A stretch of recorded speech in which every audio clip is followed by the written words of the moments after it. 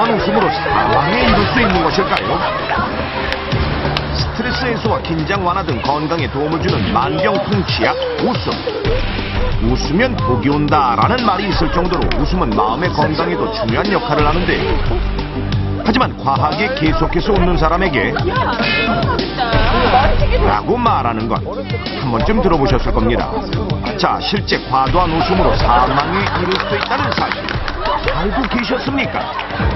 우리가 정상적으로 호흡할 때는 들숨과 날숨이 일정한 비율로 이루어져 산소를 들이마시고 이산화탄소를 내뱉게 되는데요. 따라서 우리 몸의 산소는 99mm Hg 이상, 이산화탄소는 40mm Hg로 유지됩니다. 하지만 웃을 때는 정상적인 호흡을 할 수 없게 되는데 즉 숨을 들이마시기보다는 내뱉는 날숨이 많아지게 되는 것 따라서 우리 몸에 들어오는 산소의 양이 줄어들게 되는 것입니다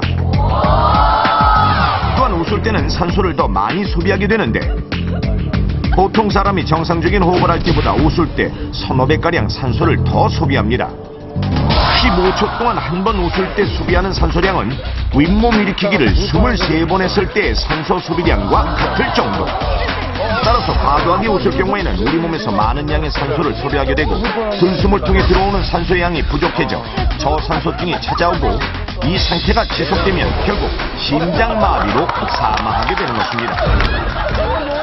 자 그렇다면 실제 웃을 때 우리 몸의 산소가 부족해지는지 실험을 통해 알아보겠습니다. 실험 방법은 남녀 실험 지원자가 정상적인 호흡을 할 때 그리고 웃을 때 우리 몸의 산소 변화를 산소 포화도 측정기를 통해 알아보는 것. 산소 포화도 측정기는 손가락에 장비를 끼우고 체내 산소량을 알아보는 것인데요. 산소 농도 수치가 99 이상은 정상, 90 이하로 내려가면 저산소증이 시작되는 것인데요. 실험은 만일의 상황을 대비해 전문기관에서 전문가가 함께 있는 자리에서 진행합니다. 먼저 남녀 실험 지원자가 정상적인 호흡을 할 때 우리 몸의 산소량은 어떤지 살펴보겠습니다.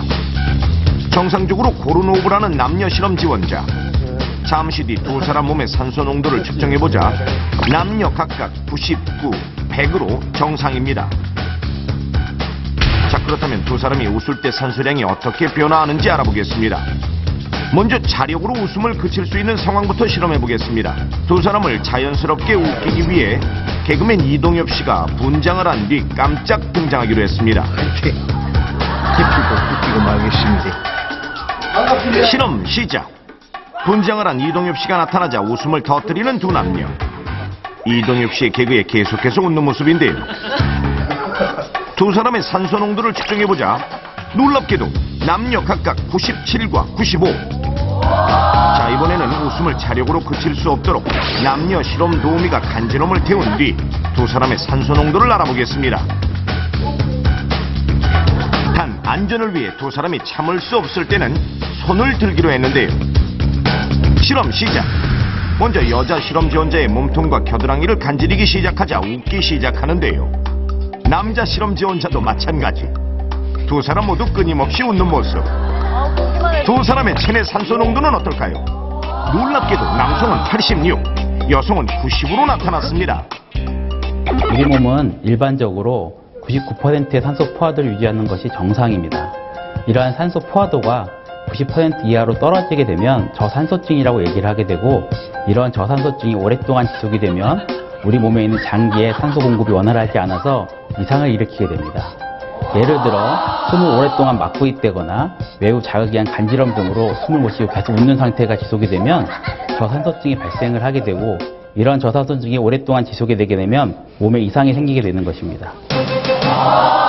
실제 2003년 8월 태국에 사는 50대 남성은 2분간 연속으로 웃다가 급사한 사고가 있었고 또한 기원전 15세기에도 그리스의 화가가 너무 신나게 웃다가 죽었다는 기록이 남아있고 중세시대 서양에서는 격분의 발바닥 등 신체 부위를 간지림으로써 고문했다는 기록도 있는데요. 그만큼 과도한 웃음은 무섭다는 사실이겠죠. 따라서 친근함의 표시나 장난삼아 가까운 친구나 연인 그리고 아이들을 지나치게 간지리는 것은 금물. 특히 어린아이들은 호흡이 고르지 않아 더 위험할 수 있으니 간지리는 장난은 하지 않도록 합니다. 또한 어떠한 상황으로 인해 웃음을 참을 수 없는 건 역시 위험할 수 있으므로 스스로 그 상황을 피해 웃음을 멈추도록 해야 합니다.